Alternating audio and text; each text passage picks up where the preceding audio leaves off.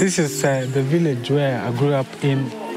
When I was growing up, we used kerosene lamps, the tin kerosene lamps, which have, in fact, an open flame.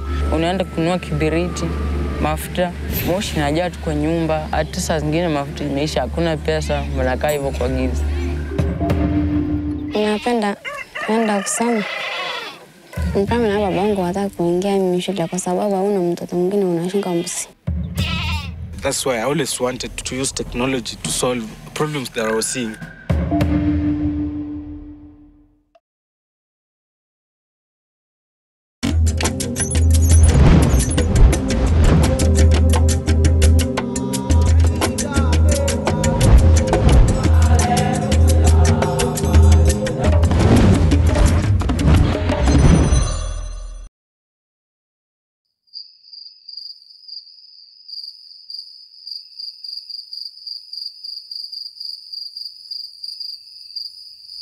Ninety percent of Africa is still in the dark.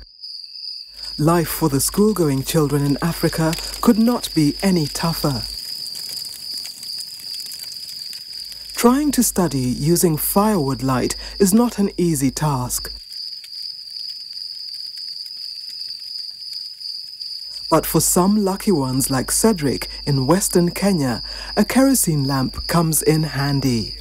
But that comes with its own hazards. The smoke and fumes could lead to respiratory problems, while the inadequate light can cause eyesight complications. A kerosene lamp could also easily cause a fire.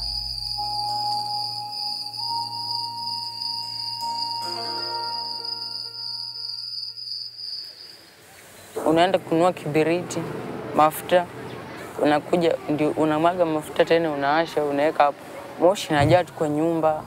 Vitu una, hata saa zingine mafuta imeisha, hakuna pesa, mnakaa hivyo kwa giza. Sasa mafuta ikiisha, sasa watu unasahau zenye umesoma hata.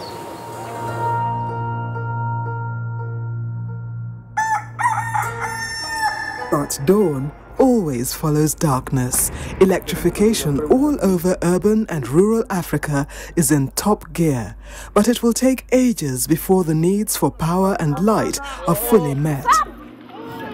Lack of power means no economic activities, which translates to rural urban migration.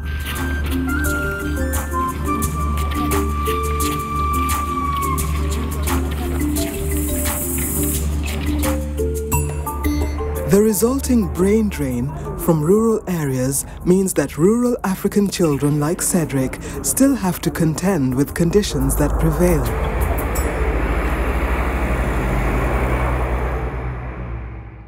But for those who abandon the rural areas for the lights in the cities, there are those who remember their childhood problems and return with solutions.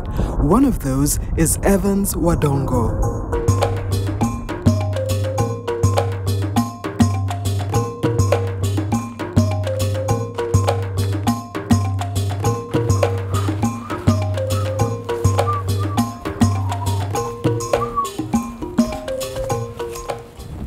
So this is uh, the village where I grew up in. Uh, this is uh, Malava in western part of Kenya. If you look at this village, this is, uh, this is the kind of setting you'll find in most rural villages, not just in Kenya but in Africa. But the lifestyle is still the same. People uh, do subsistence farming, and and they don't get a lot of money. The main economic activity, as you can see, is sugarcane uh, growing, which is not profitable to the people. They get um, 100 shillings, 200 shillings per day, which they have to use to buy food, to buy kerosene, and to buy all their daily needs.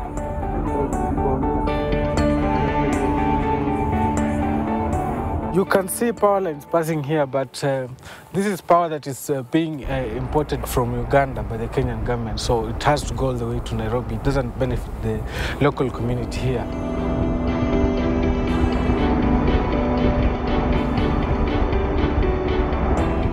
So when I was growing up, uh, we, we used to to have to use, we, we used kerosene lamps, the tin kerosene lamps, which have in fact an open flame.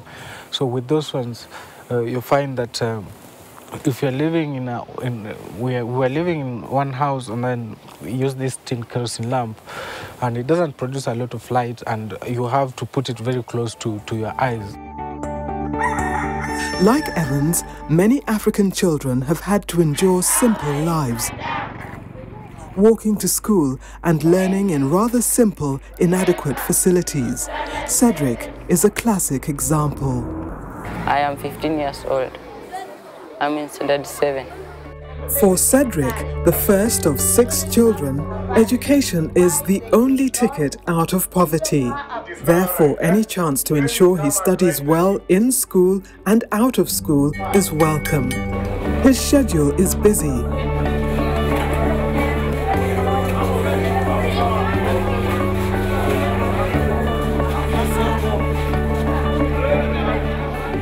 After school, I go home. I give those poultry food and I pick rubbish in the compound.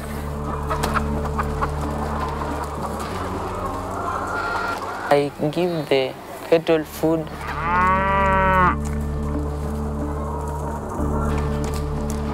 But when all is done, getting down to study with a regular lamp or koroboi was a major challenge for him.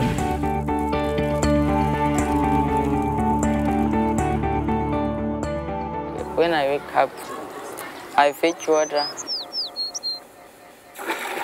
I milk, I cook tea, and I go to bed, wear my school uniform and come to school.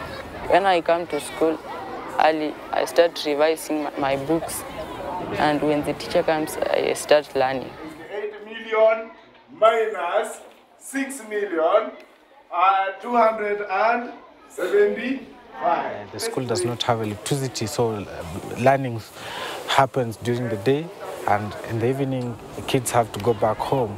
And most of the kids here, they, they don't have electricity at home, so they, they have to use kerosene lamps at home. Earlier, we have been giving assignments for them to do at home, but most of them were not completing. I've seen even my friends dropping out of school because of, uh, because they, they, they lacked kerosene in their homes, and the teachers don't want to understand that you didn't have kerosene at home, so they, you get punished, and yet it wasn't your mistake, and uh, it was uh, really frustrating. And even up to now, in most of the homes, kerosene is very expensive.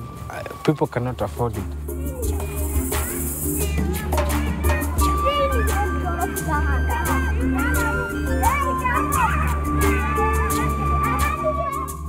Vitu- una- Hata saa zingine mafuta imeisha, hakuna pesa, mnakaa hivyo kwa giza. That is what inspired me to be able to come up with Mwanga Bora so that it can help uh, provide lighting in, in, in the home and uh, kids can be able to start using the Mwanga Bora lamp. Vatican. we are isn't it? Mwanga Bora is a Swahili word which means the good lamp. This lamp is made in a very simple way. The cardboard that we use in making our solar lanterns, uh, they are boxes that have been used for packaging. This is just recycling. We recycle them, uh, then uh, we cut them into a piece that is used to hold our light emitting diodes. Uh, we also use uh, a white paper. Uh, these are some of the papers that already have been used. Uh, let's say they have pre- been printed one side and the other side is still very clear. He puts the uh, light emitting diodes on the cardboard. Then uh, after that, uh, we connect uh, the wires. There is the putting of wires. These are connecting wires that will be connected to the batteries. So uh, positive goes on the positive, negative on the negative part of the light emitting diodes. There is soldering of the, uh, these wires. This is uh, to make sure that the wires don't come out when they are being connected on the circuit. After soldering is done, uh, there is uh, insulation.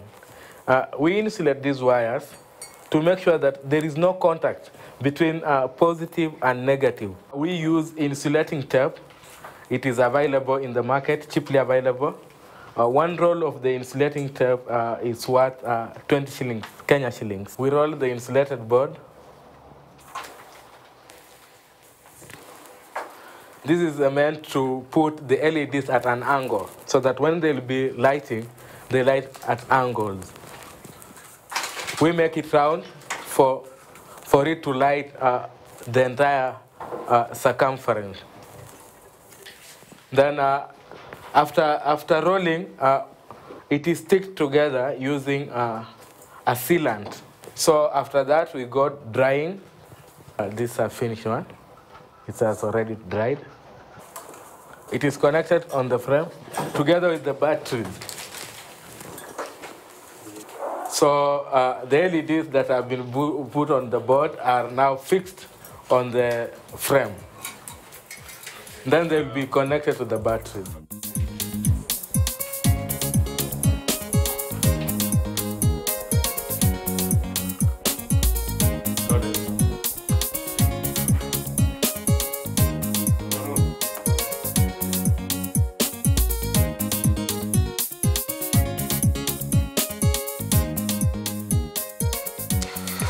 This is the lamp that I invented.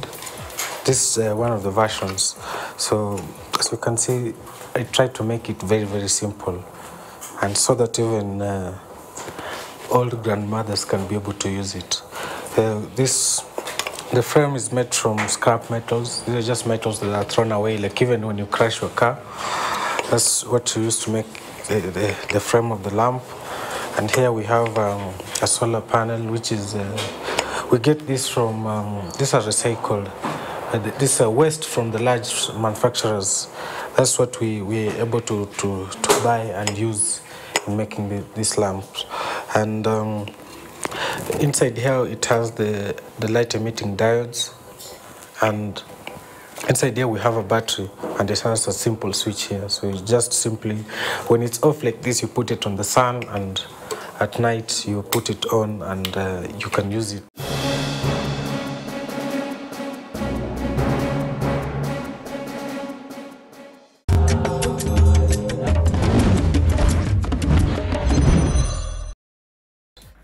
The technology behind the lamp is simple. All the user needs to do is to expose the lamp to sunshine by placing it where direct rays will hit the solar panel.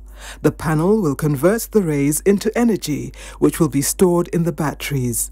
The batteries can hold up to six hours of electrical energy. A simple idea, but it's already having a huge impact.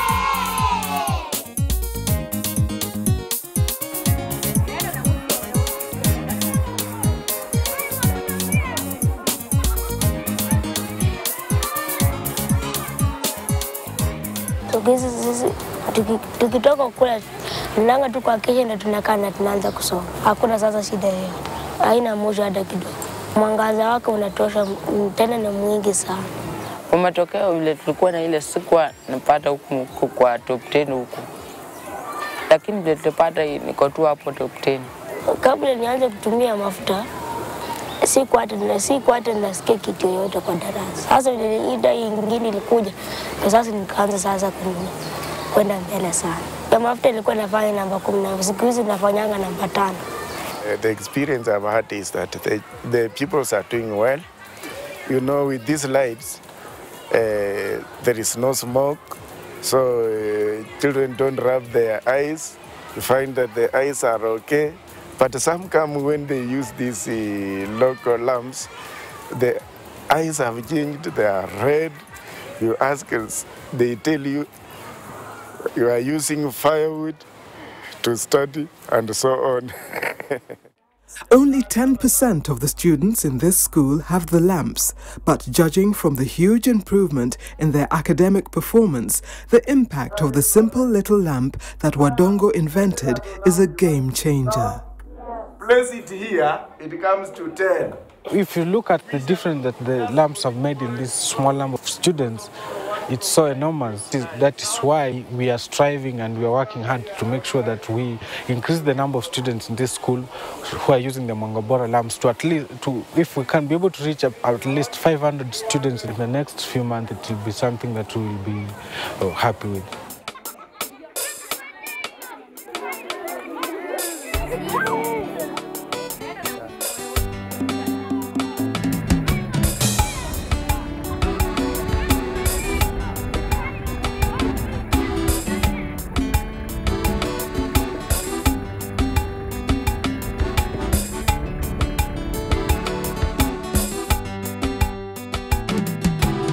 Wadongo's lighting solution goes beyond where he was born and raised. In the beautiful wildlife lands of northern Kenya, the lamp is a solution, but the cultural challenges have to be navigated rather skillfully.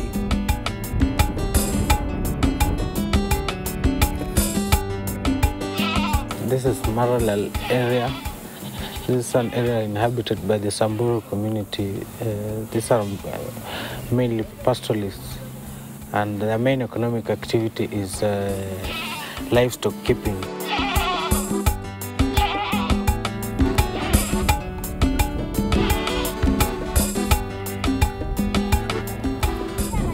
Nashaki is 15 years old. At this age, she should be in 11th or 12th grade, but she is only in 3rd grade. While the other children enjoy a normal life in school, Nashaki spends her day looking after her father's goats. In her Samburu culture, she has to look after the animals, which are the wealth of her family.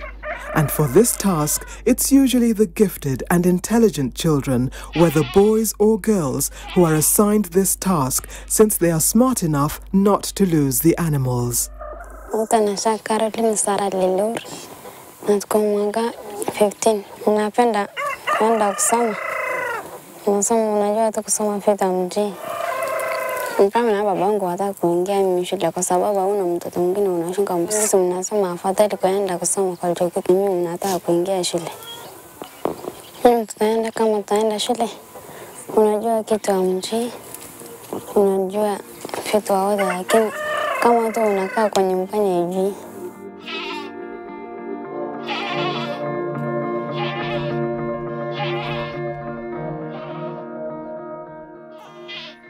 naki.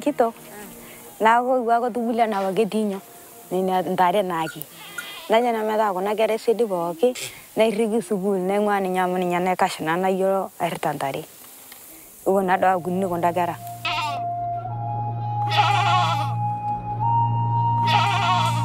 In Nashaki's case, a compromise had to be made. Her father agreed to allow her to attend school, but only at night after bringing the animals home. And so, as Nashaki directs the goats into the pen and prepares for the evening, all is not lost. There is a way out. The shepherd's classes. She joins many other child shepherds like her who go to school at night.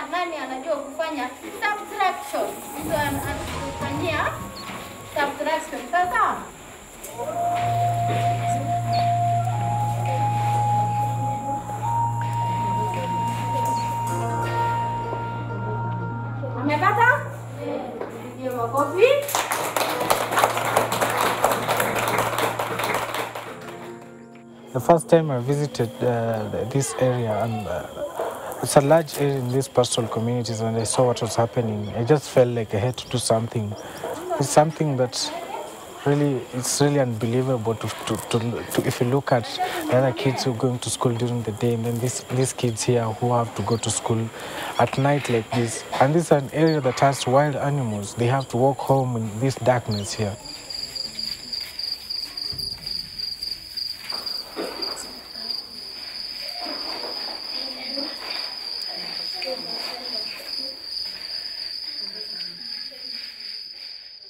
We have combined two classes, the pastoralist class and the formal school class. Then we get our students bidding these other ones. So it was a great thing to us because uh, we are happy that we are doing. We are taking sh- short time, but we are getting just the same thing that uh, this other one. Or, or even we can beat them. Nashaki has repaid this gesture by emerging top of her class, beating even the formerly schooled children. And Wadongo's simple lamp has been at the center of her success. The shepherd's classes have given children like Nashaki a rare chance at education. Wadongo's lamp is used to illuminate the classes during the lessons and as a torch because there are wild animals which could attack the children in the dark as they walk home. And when they get home, the solar lamps allow Nashaki and the other children more time to study.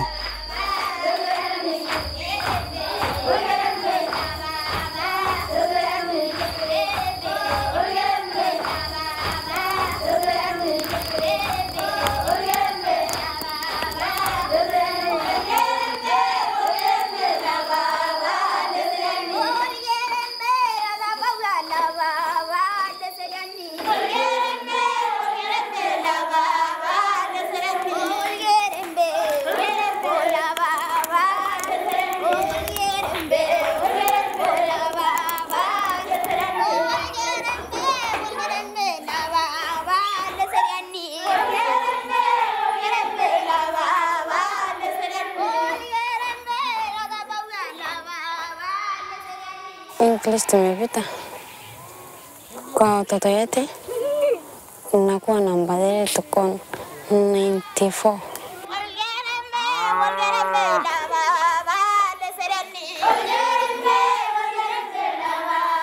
ejing naamu ai nekotaanejing meti papalenye ngkang nagoi nadwak anyumstena meuna ngkang ninyakinono nano nangera sukulu naduaka abaki etii papa lenye ng'oji miyiolo sii aitai amuri naadua metii ninye ng'oji lakini ketejo taa apa kore paashu paalotu naa nalotu naa ayiolou naa sii nanu neikunari nkerai ai Nataka tu kumaliza shule, unaingia kazi kama nyinyi, unapiga mtu tupisha kama nyinyi.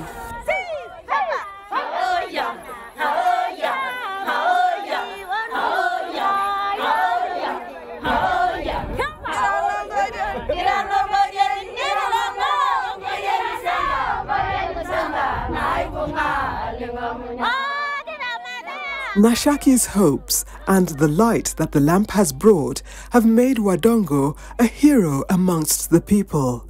Every visit is celebrated with song and dance.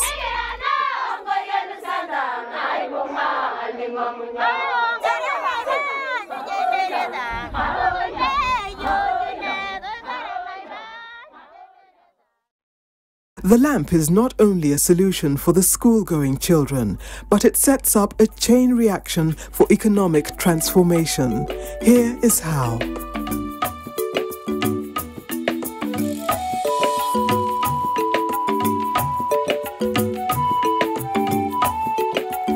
The women in the community have saved quite a bit of money because they no longer have to buy kerosene.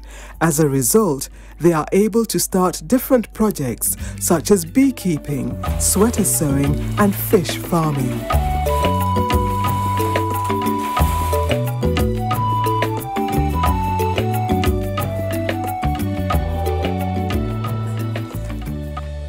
An average family spends about six to ten dollars a month on kerosene for lighting.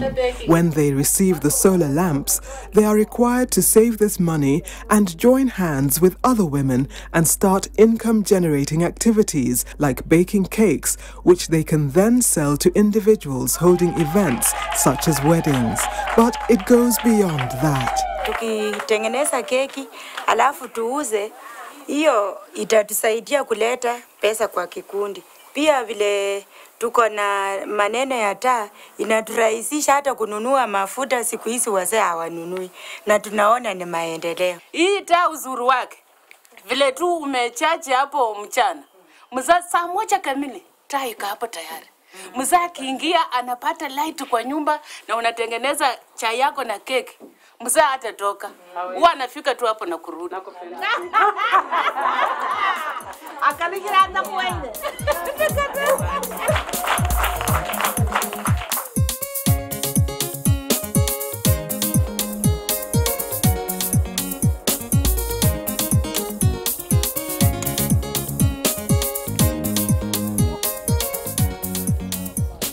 hizo taa zimetusaidia tukafa, tukapata mwangaza, na hiyo mwangaza tunafanyia kazi nayo usiku, hata kama hakuna mafuta, kama kuna jua tunatumia jua kupitia kwa taa zetu.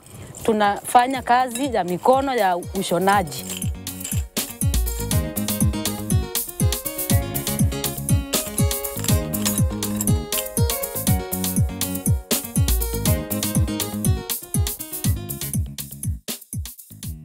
At only 27 years, Evans' list of achievements reads like that of a world statesman.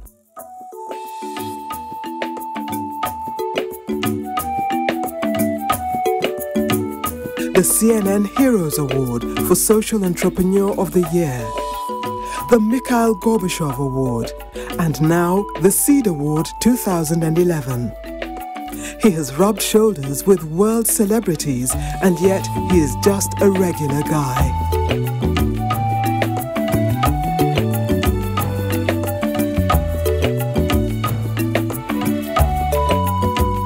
But Wadongo's life is not all about the lamp and the communities it's impacting. He gets time to be with his family too.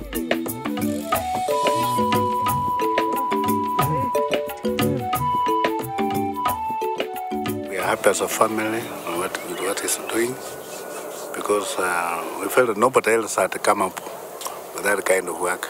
He used to play with funny things. Anything electrical was not going across him. Whether spoiled or in good condition, uh, he liked joking with it and would spend a lot of time concentrating. After completing his uh, degree work, as a mother, I wished that he get employment. Then he said, no, I don't want to be employed. Let me develop my skill and do my own things, and I want to help the community. I like things that are more relaxed, uh, more relaxed, something that you'll do with passion. And that's why I always wanted to do, uh, to, to do, to use technology to solve problems that I was seeing. It doesn't make sense to me, however much you learn about something, then you sit in an office in New York or in, in wherever. And the same people, the problems that you are seeing, you are growing up with, they're still there. So specifically, I wanted to study, to, to be able to use knowledge to make a positive impact uh, in, in the society. And uh, that's what I've, I've, I'm trying to do in a small way.